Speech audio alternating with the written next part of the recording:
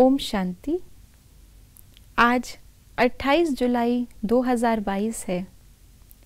और जैसे आज मुरली में हम सभी ने सुना कि हमें अथक बनना है। पढ़ाई में कभी भी थकना नहीं है। पुरुषार्थ में हमेशा आगे बढ़ते रहना है। तभी हम कर्मातीत अवस्था को पा सकते हैं।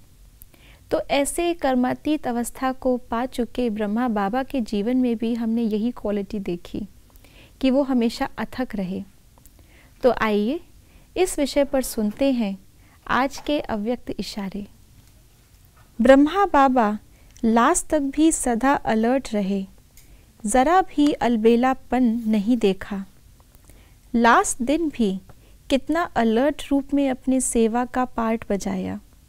शरीर कमज़ोर होते भी कैसे अलर्ट होके आधार लेके नहीं बैठे और अलर्ट करके दिख गए। तो जितना अलर्ट रहेंगे फॉलो करेंगे, अलबेलापन खत्म हो जाएगा।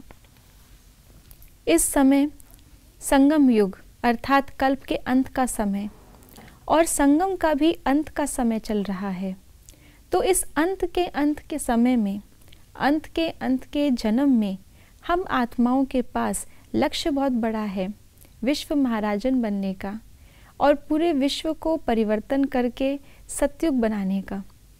ये हमारा संकल्प, ये हमारी प्रतिज्ञा, ये हमारा कर्तव्य तभी पूरा हो सकता है जब हम आत्माएँ अलर्ट होकर के, अथक बन कर के स्व परिवर्तन और विश्व परिवर्तन करें।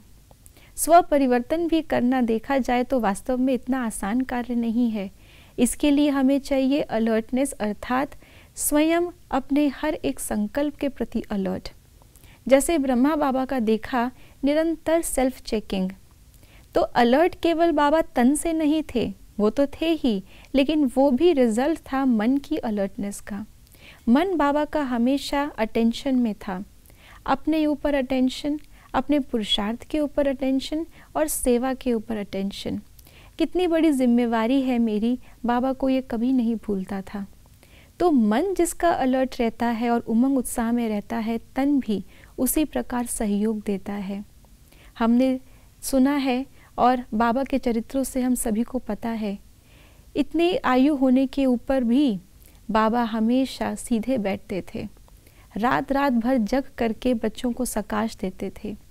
हमेशा समय पर मुरली चलनी है बाबा की, इसलिए रथ को हमेशा तैयार करके ले आते थे।